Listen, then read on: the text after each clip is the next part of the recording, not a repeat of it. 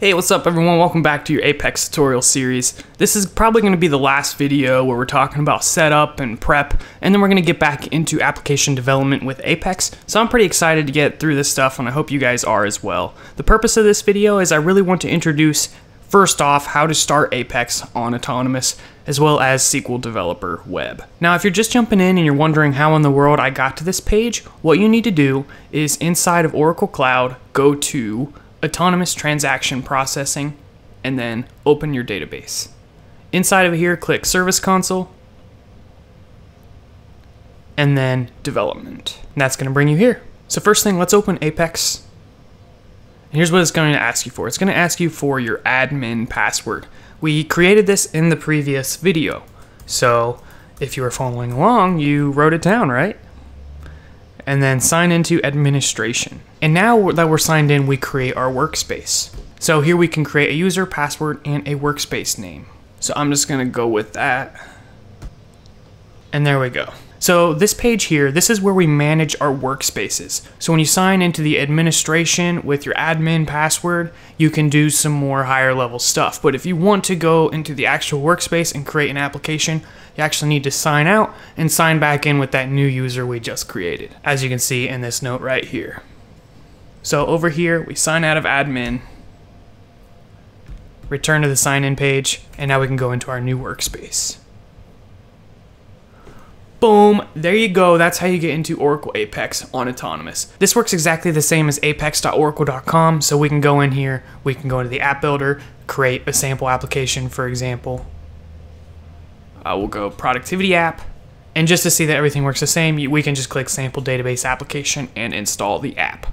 So that is how you work with Apex. All right, so now that you have a pretty good understanding of how to get started with Apex, let's take a break to talk about SQL Developer Web. So what we want to do is we want to click SQL Developer Web. Now our goal here is to sign in with the same database user that we created with our Apex workspace. That way we can see the tables that we created with our sample application. But there's actually an extra step you're going to have to take because if you try to sign in with those credentials, we get an error. So here is an article showing what you need to do. I'll leave a link for you guys in the description or you can just copy along what I type here. So by default, you can sign in with the admin user, but that's not what we want to use. We want to use, in this situation, the Caleb user, or whatever you decided to name your user. So all we gotta do is copy the script, and then we need to go sign in with the admin user. These are the credentials we established in the previous videos, so sign in with this.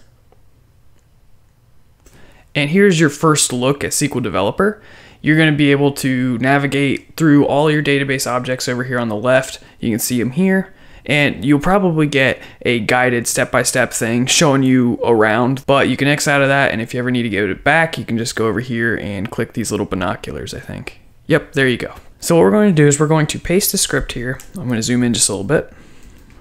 Oh too much. There we go.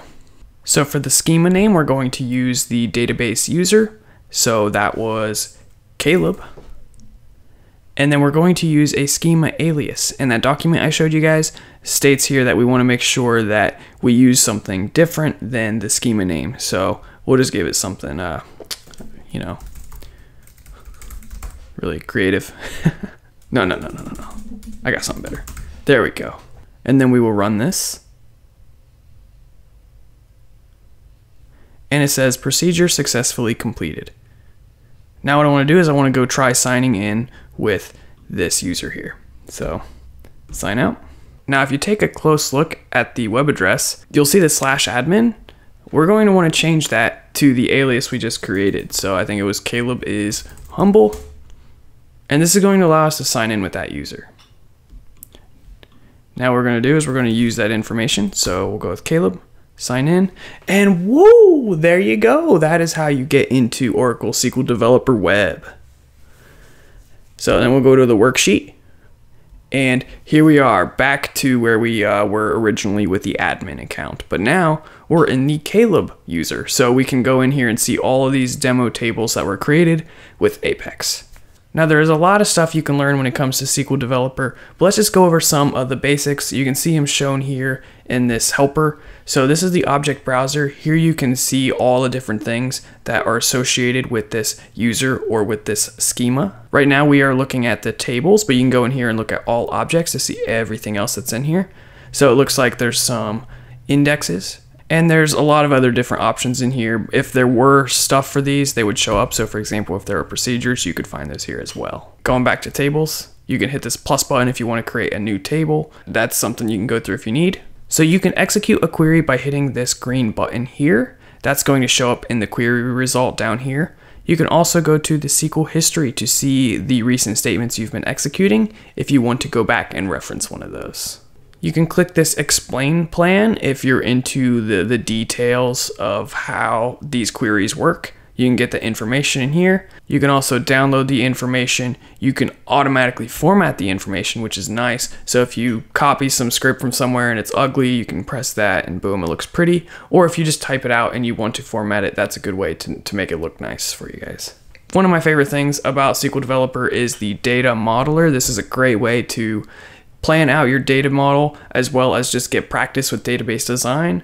Uh, you can go through the tutorial with this. What I'm going to do is I'm just going to X out of that and click this button and you can get the, the table information from the database uh, just by putting the asterisk in here. And you can see all of our tables in here. We can select these and we can add them to our diagram. And once that's done, you can see it's back here. So what we can do is we can just X out of this. And you can see over on the right, we have the zoomed out version of what this looks like, and you can see how everything is connected. So whenever you're working with data and you need to see the diagram for how the relationships work, you can go into the data modeler, do what I just did, and save yourself a lot of stress and headache. So it's really, really awesome. You can also save this diagram to an image, which is really awesome, or you can print it. Um, if you save it, you can you can email it, have people look at it, whatever you need. So that's a really great way to, to share your, your data model with other people. So that's the basics of the data modeler. Obviously, we just scratched like the bare surface. Obviously, you can go over here, you can create new tables and put those in your diagram. If you want to do that, you can see there's a lot of different capabilities when we're creating tables, but we're just going to stick with what we have for right now. If you want to get more information, there is documentation. So I just searched Oracle SQL Developer Web Documentation. God, I spelled it wrong because I can't spell. And look at this, we got a PDF.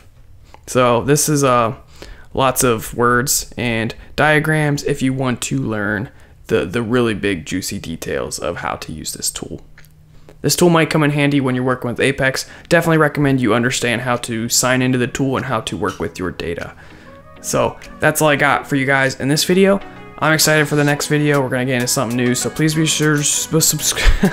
cannot talk. Please be sure to subscribe, and I'll see you in the next video. Thanks, guys, and peace out.